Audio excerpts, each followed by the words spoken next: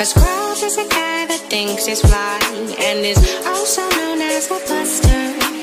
Always talking about what he wants and just sits on his broke ass. So